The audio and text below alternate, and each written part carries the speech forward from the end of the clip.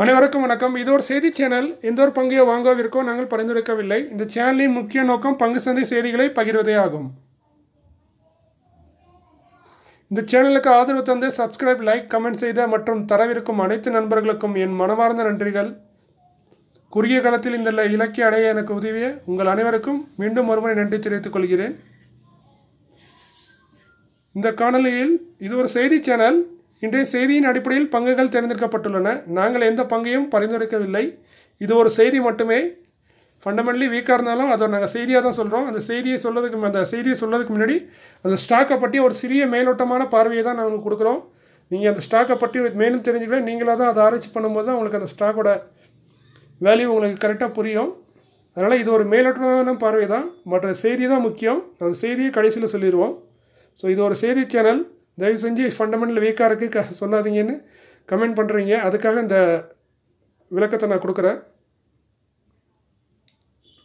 இந்த காணொலியில் வரவிருக்கும் ஸ்பிரிட் வழங்கும் பங்கு மற்றும் பைபேக் செய்யவிருக்கும் பங்கு பற்றிய செய்தி. முதலாவது ஸ்டாக்கு ரஜினிஸ் வெல்னஸ் லிமிடெட் இவங்க பேர்லேயே வெல்னஸ் வச்சுருக்காங்க. இவங்க மெயின் வந்து அந்த பேர் பார்த்து பேர்படியே இவங்க வந்து ஆரோக்கியம் சம்மந்தப்பட்ட ஆரோ ஆரோக்கியம் ஆயுர்வேதிக் பர்சனல் கேர் இது சம்மந்தப்பட்ட பொருட்களை விற்கிறாங்க இதுதான் எங்கள் மெயின் பிஸ்னஸ்ஸு இவங்களோட கரண்ட் மார்க்கெட் ப்ரைஸ் பார்த்தீங்கன்னா இருபத்தி ரெண்டு ரூபா புக் வேல்யூ ரெண்டு ரூபா.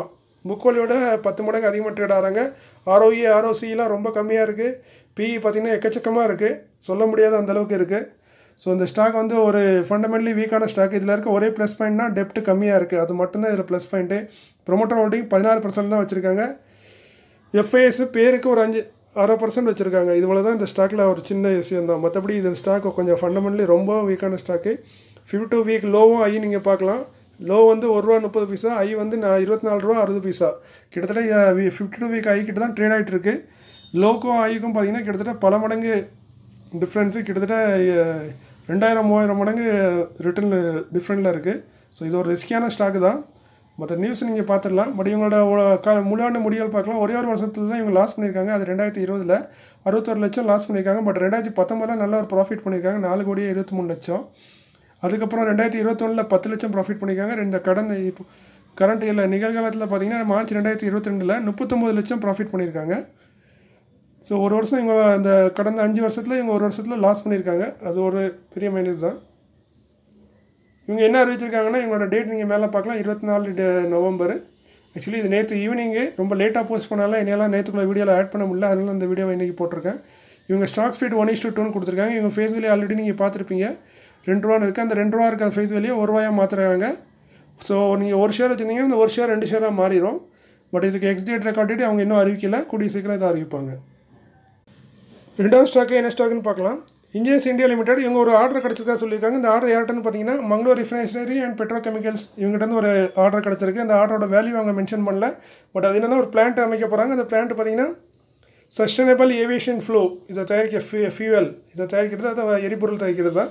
ஸோ இதனால் என்ன ஒரு இதுனா இது வந்து ஃபஸ்ட் டைம் இந்தியாவில் அப்படி ஒரு பிளான்ட் இது பண்ணுறாங்க இதில் வந்து developed by CSI CSIR plus IIP and EAL engineering engineer India limited இவங்க எல்லாம் சேர்ந்து பண்ணுற ஒரு இது. இது என்னென்னு பார்த்தீங்கன்னா இதனால் என்னென்னா உங்களுக்கு ஜீரோ கார்பன் எமிஷன் வந்து குறையும். ப்ளஸ் க்ரூட் ஆயிலோட தேவையும் குறையும். இதனால் மறைமுக ஃபார்மர்ஸ்க்கு ஹெல்ப்ஃபுல்லாக இருக்கும். அது என்ன ஃபார்மர்ஸ்க்கு ஹெல்ப்ஃபுல்னு கேட்குறீங்களா அதாவது இந்த விவசாய கழிவுகளை வந்து மற்ற விவசாய கழிவுகள் மற்றும் யூஸ் பண்ண குக்கிங் ஆயில் இதுலேருந்து ஒரு ஃபியூல் தயாரிக்கிற டெக்னாலஜி தான் இது. ஸோ இதனால் அவங்களுக்கும் பயனடைவாங்க. இது க்ரூட் ஆயிலோட தேவையும் குறையும். ப்ளஸ் கார்பன் எமிஷனும் கம் குறையுங்கிறது இந்த பிளானட்டோட முக்கிய அம்சம். அதை தான் அவங்க தெரிவிச்சிருக்காங்க. பட் அது என்ன வேல்யூ என்னென்னு இந்த அந்த கான்ட்ராக்டோட வேல்யூ எல்லாம் அதில் தெரிவிக்கலை.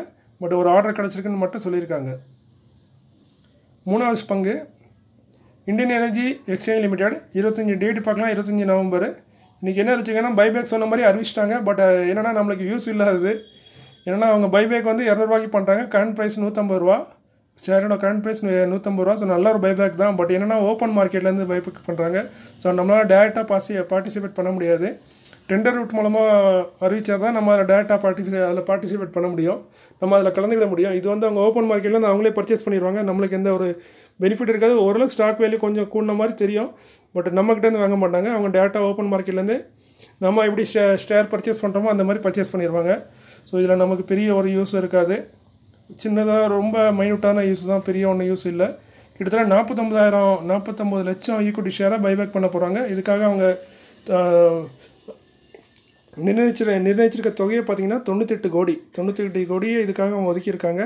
இதில் வந்து நாற்பத்தொம்பது லட்சம் ஷேரை அவங்க பைபேக் பண்ண போகிறாங்கன்னு அறிவிச்சிருக்காங்க. பட் எந்த டேட்டுக்குள்ளேங்கிறதையும் மென்ஷன் பண்ணல. ஒரு ஓப்பன் மார்க்கெட்டு ஓப்பன் மார்க்கெட்னா நமக்கு நோ யூஸோ அதனால் மேற்கொண்டு அதை பற்றி டீட்டெயிலாக பார்க்க வேண்டிய அவசியமும் இல்லை. ஸோ இதுதான் இதோட நியூஸு இன்றைக்கி ஸ்டாக் மார்க்கெட் எல்லாம் உச்சத்தில் இருக்குது ப்ளஸ் நம்ம சேனலுக்கு ஒரு ஆயிரம் சப்ஸ்கிரைபர் வந்திருக்காங்க. இது ரொம்ப சந்தோஷமாக இருக்குது இந்த நாளில். பட் என்ன தான் ஸ்டாக் மார்க்கெட் வருந்தாலும் நம்ம போர்ட்ஃபோலியோவில் ஒன்றும் பெரிய மாற்றம் இல்லை.